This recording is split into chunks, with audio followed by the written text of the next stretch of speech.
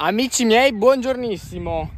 Dopo un bel po' di giorni che ha piovuto tipo due settimane e 250 e passa millimetri di pioggia, sono qui, ahimè, a controllare un attimo i teli facciamanti se sono ancora vivi perché vorrei trapiantare gli ortaggi. Ora non si può più togliere il telo pacciamante, il terreno si è un po' compattato, però ha protetto da tutto il compattamento dell'acqua che ha fatto. Il passaggio è duro come il muro, però qui sotto possiamo trapiantare tranquillamente. Si farà più fatica con il trapianto, però nessun problema. Oggi però parliamo sì di pacciamatura, ma di macchine, come potete leggere dal titolo, per stendere la pacciamatura. E dopo con questa accoppiata qua, ragazzi, cioè BCS 740 con il cingolo, pacciamatura, moroni. Che, che, macchina, che macchina aggressiva è quanto aggressivo è. Guarda che spettacolo. E stendere la pacciamatura con questo mezzo qua sono 60 metri di lunghezza per quante 10 prode è veramente un divertimento.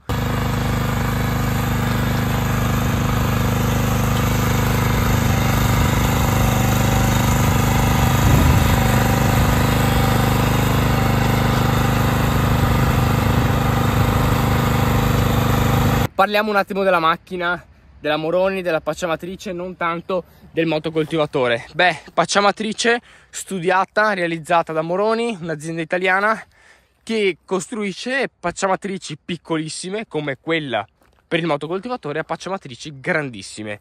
La pacciamatrice in questo caso qua è la PAC M100, quindi permette di installare un telo largo massimo 100 centimetri, un metro, perfetto per le coltivazioni ed è anche il telo che si va a utilizzare più comunemente.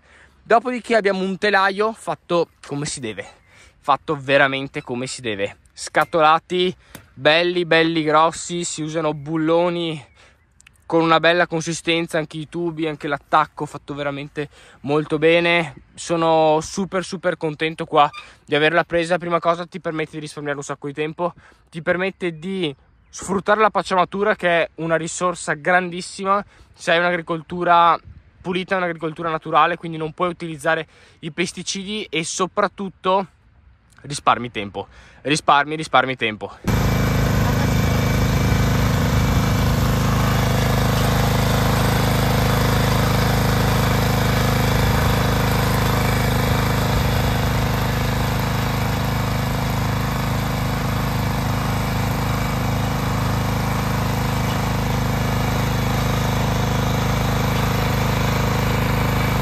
Una cosa che dico sempre, che mi piace sempre ribadire, se tu hai un'azienda devi fare un attimo degli investimenti. Perché se io per stendere questo telo qua, che è lungo 60 metri, ci metto mezz'ora, invece con la macchina ci metto un minuto, perché alla fine è quello il tempo che ci metti, in quanto è che lo ammortizzi? Cioè, ammortizzi la macchina in veramente pochissimo, pochissimo tempo. E soprattutto il costo non è neanche così tanto eccessivo. In una stagione, anzi, con questo piccolo lotto qua te ne compri anche tre tranquillamente.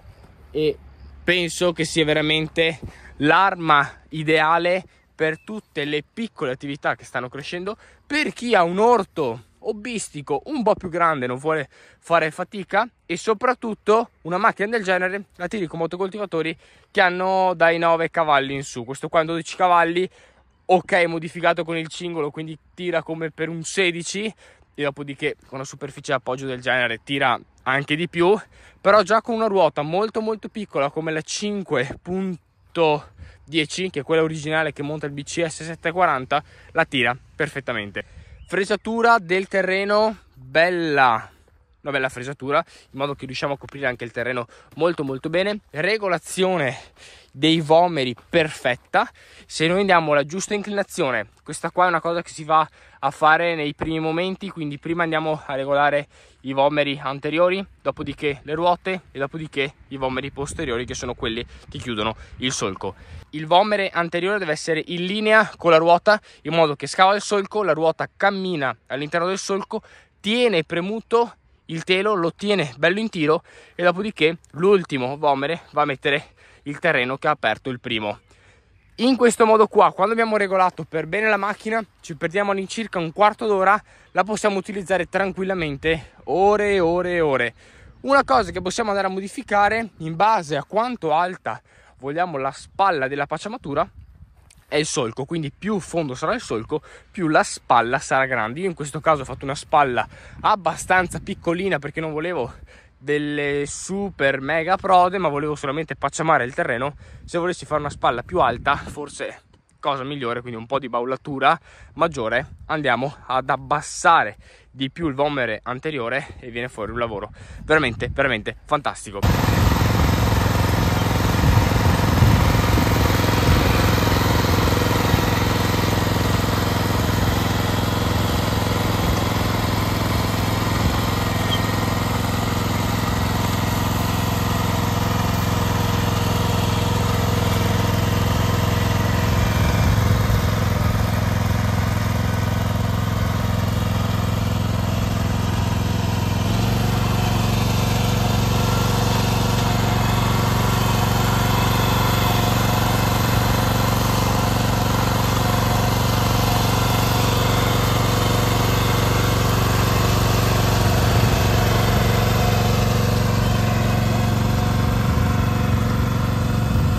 Un'altra cosa che mi è piaciuta tantissimo di questa pacciamatrice fin da subito è che con una chiave, la chiave del 17, vai a regolare tutte le viti tranne due che hai bisogno, una chiave da 13 e una chiave da 10. Una chiave da 10 che ti serve per allentare qua il bullone che permette di tenere fermo il telo e una chiave da 13 che ti permette di mollare queste ali qua che tengono fermo il telo in sede. In questo caso qua è finito finito l'ultimo rotolo. Faccio un pensierino se hai un motocoltivatore se hai un po' di terreno e soprattutto se sfrutti tanta pacciamatura.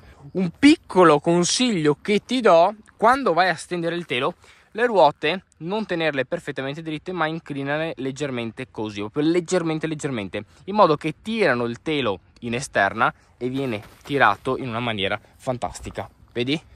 Viene tirato in una maniera perfetta. E così soprattutto la ruota si ancora meglio perché gomma con gomma si ancora meglio e lo riesce a tirare di più e soprattutto non scappa il telo. Una cosa molto nota sulle pacciamatrici è che magari quando si comincia ad andare molto molto forti, si trova un ostacolo, una buca, si alza la pacciamatrice, potrebbe essere che il telo si sfili dalla ruota, quindi il vomere non riesce più a buttare a terra e viene fuori un macello. Inclinandole leggermente teniamo il telo tirato viene fuori un lavoro fantastico, veramente veramente fantastico. Ora però c'è anche da dire una cosa, cioè Ok, abbiamo provato la pacciamatrice della Moroni, ma la Moroni sta costruendo una macchina ancora più formidabile, cioè la trapiantatrice per motocoltivatore. E quindi io direi di fare una cosa, qui sotto nei commenti bombardate di commenti noi vogliamo vedere la pacciamatrice collegata al BCS più aggressivo qua d'Italia, anzi d'Europa, d'America, di tutti cioè voi avete mai visto un BCS del genere? Quindi ti lascio qui sotto in descrizione due link.